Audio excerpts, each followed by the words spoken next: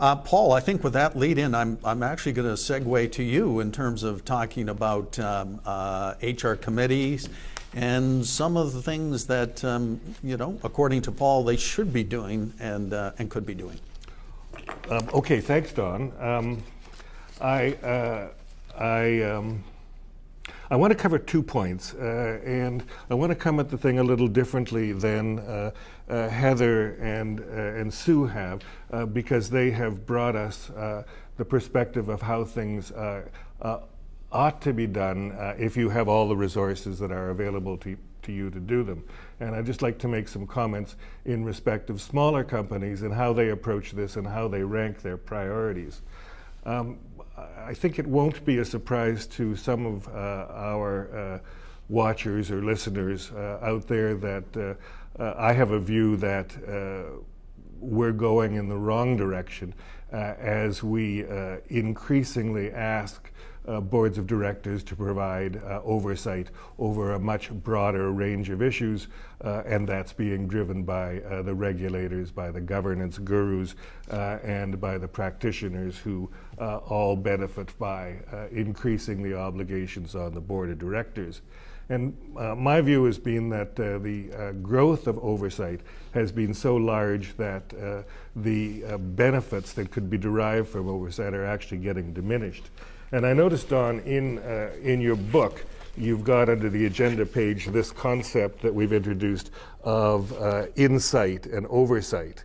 And I think that's a magic division that uh, we need to address. And the idea is that oversight is the things that the board must do. And insight is the things where the board members, on the basis of their uh, wisdom, can provide, provide advice to management in terms of what the management might do. So, for those of you who are operating smaller uh, institutions and are wondering what the role of the board, and particularly the Human Resources Committee, uh, ought to be in terms of those things that uh, are uh, oversight, the things that the board must do, uh, I actually take the list down to three, or if you want to add the things that the regulator says you have to do, down to four. So leaving the regulator aside, uh, I think that uh, the board, Human Resources Committee, obviously must make the decisions in terms of hiring and firing the chief executive officer.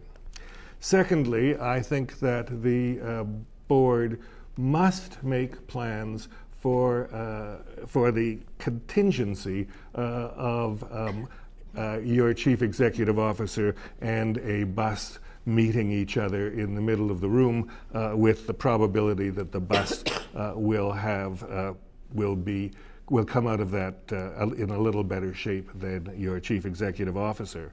Uh, and so emergency succession plans need to be in place so that you know what to do if uh, the bus hits, if the plane crashes, and uh, you are sitting there without a chief executive officer for a short or long period of time.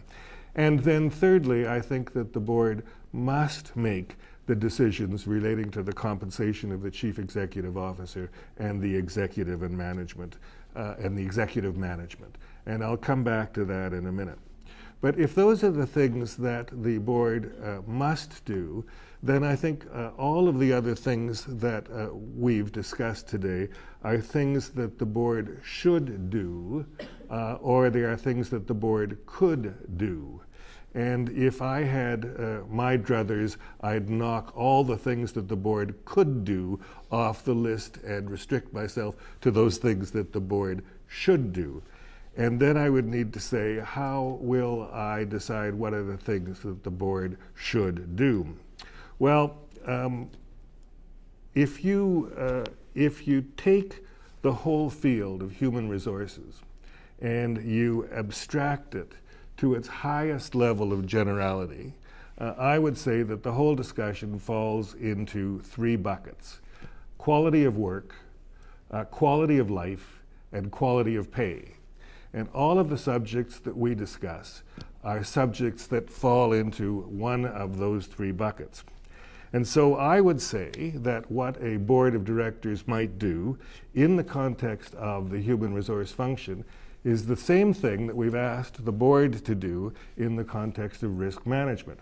We've asked the board to come up with a risk management statement, uh, a, I'm sorry, a risk appetite statement that talks about what the appetite of the board is. So I say, why doesn't the board come up with a human resource appetite statement uh, in the context of quality of work, quality of life, and quality of pay, and set out a general framework which would allow management to then uh, operate within that framework as it approached these broader issues. So if I were looking at the should do's rather than the could do's, I would say that they represent those things that are important to the organization over the span of a chief executive officer's um, term in office, which these days is what? Is it less than four years now? Is the average term of office of a chief executive officer? So, those things that might be within that framework.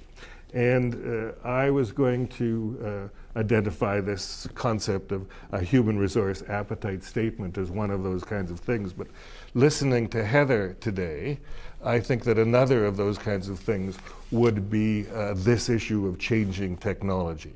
That is such a huge issue that has such long term uh, implications for the organization as a whole that it's another kind of issue that needs to be thought about by the board in this framework. So that's how I would do that. Um, the other area that I wanted to cover, Don, is I wanted to talk a bit about the uh, about making the decisions relating to the compensation of the chief executive officer and the management. And the reason that uh, I uh, wanted to talk about that is that uh, another of uh, the violins that I play um, is that uh, I think that uh, we've gone overboard, generally speaking, in terms of the demands for expertise that we're placing on the board. I think that the demands for expertise um, create real problems, first of all, in terms of in terms of uh, reducing the decision making power of management, which is where the real expertise lies.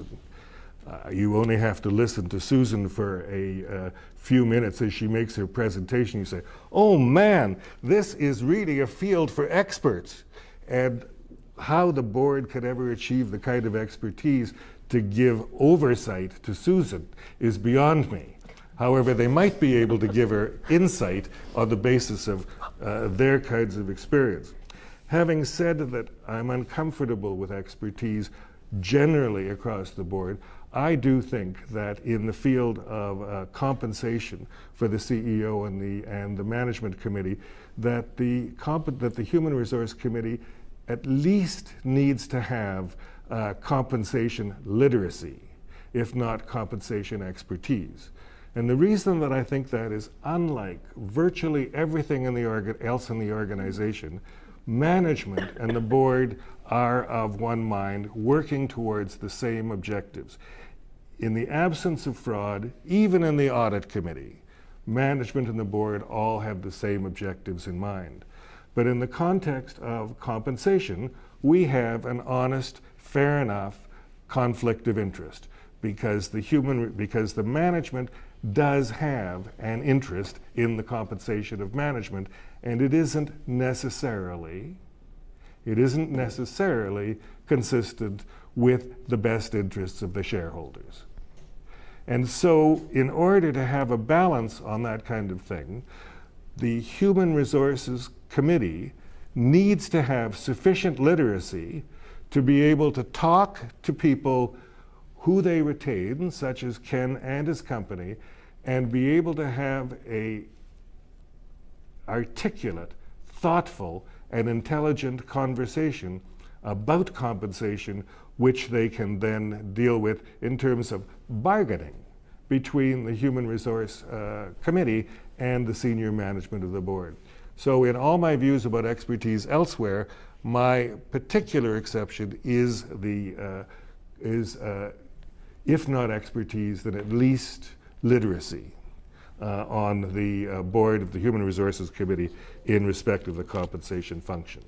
So those were the two points that I had wanted to make now, and uh, I'll throw myself over. We can turn the seasoned executive over on the other side and uh, probe. I still have some seasoning to go to respond to all those points, Paul. But um, uh, what I would say, that it was an interesting uh, commentary around uh, expertise on the board because. Uh, quite honestly, every issue that's popped up, the response has been to gear up the, the expertise on the board. Um, certainly, think about the risk committee. Well, we need to have a risk expert uh, on the committee. Uh, on the audit committee, it's been literacy, but you know now they're talking about audit quality and putting an auditing expert onto the committee. So that seems to be kind of the, the standard response uh, that's been there. So it's been interesting to hear your commentary that perhaps that is going too far in terms of in terms of boundaries. Well, I think we're engaged in a Sisyphusian exercise here. You remember that was the guy who was trying to roll the stone up the hill, and every time he tried to roll it up the hill, it rolled down uh, the hill again. Uh, and uh, the tragedy of uh, Sisyphus is that uh, he never really understood that it wasn't his job to roll that stone up the hill, even though it kept rolling down the hill again. and I think that that's the path we're on with this business of adding more and more experts to the board. And notwithstanding that, we still have failure after failure after failure. And maybe the answer is to give the responsibility back to management to actually make the decisions and leave the board with a narrower oversight role and a wider insight role. That's uh, but quite, perhaps I digress uh, again. quite a picture to paint of the, of the stone come back, Ken. well, uh, just on uh, Paul's second point, I wanted to comment. Uh, we actually uh, pr- predictably completely agree with the need for expertise on the board and on the committee on exec comp. I was made the a joke a little earlier that perhaps all that should be outsourced and realize that sounds a tad self-interested.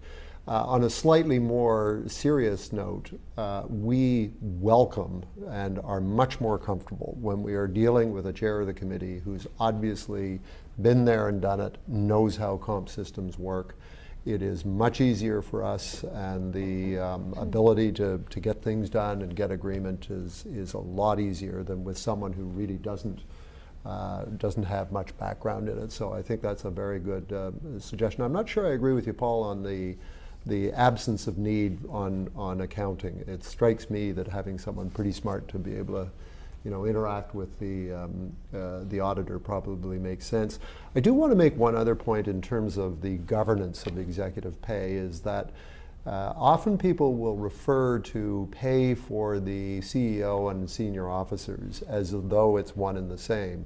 We actually don't believe that, uh, and in terms of the governance process in our view, the CEO review, uh, doing a contract when you're hiring or promoting or any of these, is done by the committee and recommended to the board. And it, typically, the committee does need some expertise, and it should avail itself of that expertise. We do not think that the, the committee or its advisor should be making the recommendations as to how anyone else is paid. And it, it may seem a subtle distinction, but we think it's really important that uh, the CEO is the person who working with the their HR department and you know they can work with us if, if our client's comfortable or they may work with another firm. Uh, they have to generate the proposals and we will respond. And you know it's a, a good. interactive back and forth, but I think committees step into very dangerous ground if they begin uh, doing part of their CEO's job and uh, setting pay for people who report to the CEO bad move in our view. Yeah, I'm just thinking about uh, we have a very broad audience um, today. A lot of the discussions in terms of the you know must do, should do, could do. Uh, maybe makes sense in a large organization with lots of resources uh, established well down the journey. Uh, as, a, as opposed to smaller organizations. So, Paul, I think your commentary worked quite nicely in terms of what should be done in a smaller organization. And maybe I'd just like to you know hear from our panelists in terms of let, put yourself in the shoes of a small cap or, or a NPO or a Crown Corp and, and, and some of the advice you might give them to deal with sort of these issues. In a not for profit, uh, often uh, the expertise is on the board, not uh, in the uh, management the people on the not-for-profit board are often ones who've committed their, their, their lives to whatever it is that the organization is doing, knows everything about it, and uh, and then when it gets out of hand for to do on a volunteer basis, they bring in people to be the management and to be the chief executive officer. And um, and my uh, my enthusiastic comments uh, in the context of not-for-profit organizations ought to be molded to take into consideration uh, how those organizations come to pass.